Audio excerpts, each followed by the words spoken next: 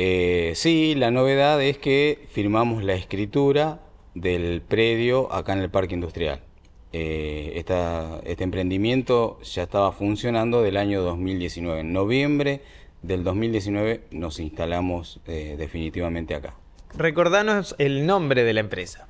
El nombre de la empresa es Celis Renta Living, es alquiler de living, lo cual tiene alquiler de living, carpas eh, y otro tipo de, o sea, aires acondicionados, bueno, todo lo que básicamente lleva un evento que no es ni catering ni sonido, ¿cierto? Es amolamiento.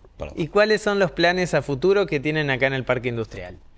Bueno, nosotros eh, luego de la pandemia veníamos con un proyecto, eh, una sucursal en Mercedes, la cual tuvimos que cerrar, tuvimos cuatro meses nada más trabajando allá.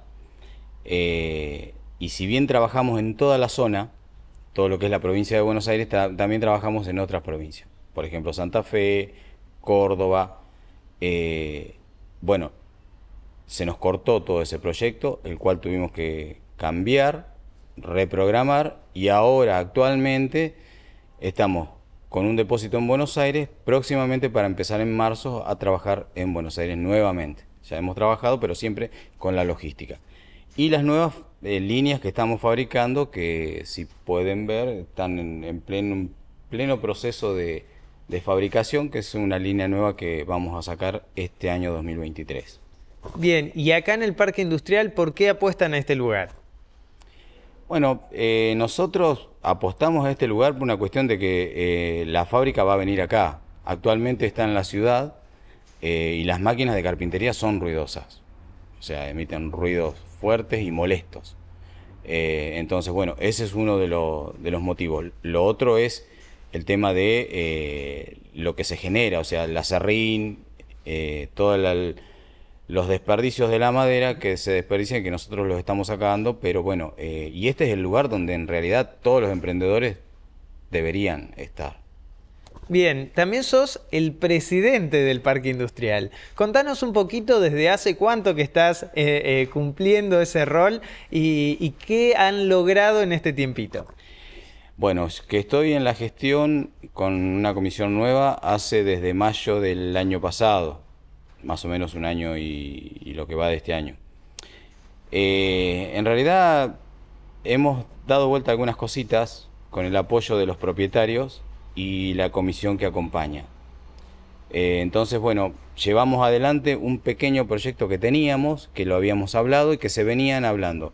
Por ejemplo, vuelvo a decir el tema de la loma de burro, que era un tema fundamental para eh, no tener accidentes la velocidad con la que se entraba era bastante alta y las barreras no alcanzaban a detener algunos y muchas veces tuvimos ese tipo de accidentes. Esa es una de las cosas que se hicieron. Después, por ejemplo, eh, se cambiaron las luminarias de la entrada por LED y las del fondo también todas por LED. Eh, se reemplazaron. Eh, siempre esto todo se hace con el aporte del gobierno municipal, ¿no es cierto? y bueno, un montón de mejoras más que se han puesto en las, en las calles, como han visto, las señaléticas. Tenemos una última novedad que es eh, medicina industrial, que si cuando entraron no sé si lo vieron, es un gabinete de, primeros auxilios y demás cosas que la verdad eh, eso lo debería explicar el doctor Zuckerberg, que es el que está a cargo. Pero bueno, algo que no muchos parques industriales lo tienen, esa es la verdad. Eso, sumado al pórtico, le han cambiado bastante como la cara al parque industrial. Ha sido visible el parque industrial en estos dos años, año y medio. Eh, se ha visibilizado mucho.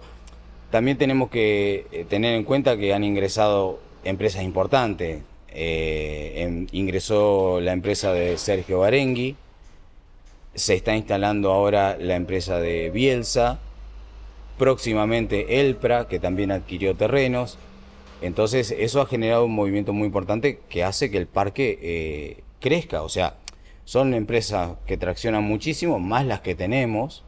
Entonces, bueno, eh, empieza a ser un parque diferente. El pórtico es muy importante, es lo que le da la identidad al parque. Vos pasabas por la ruta 5 y no sabías dónde estaba el parque industrial. Entonces, eso es una obra importantísima eh, y que la verdad, eh, bienvenido sea y le da una identidad terrible al parque. Bueno, ¿y, tienen algún proyecto a futuro en cuanto al parque que se pueda adelantar? Imagino que serán varios, pero algo que puedan comentar. Mira, hay un, en lo que es al parque, todo lo que son las empresas que presentan proyectos para el ingreso, la verdad es que nosotros como comisión no tenemos acceso a esa información. Eso lo maneja el municipio. Eh, lo que sí tenemos también, que se adquirió el año pasado y que lo vamos a traer ahora, seguramente vamos a tener una nota, es un camión que se le compró a bomberos, un camión cisterna eh, equipado que ellos lo usaban para eh, lo que era fuego, es, ¿cómo es? Incendios forestales. Ese camión va a ingresar al parque, fue comprado con un subsidio que nos dio la municipalidad. Y va a quedar fijo acá y va a quedar fijo acá. Sí, es otra de las cosas que también va a tener este parque.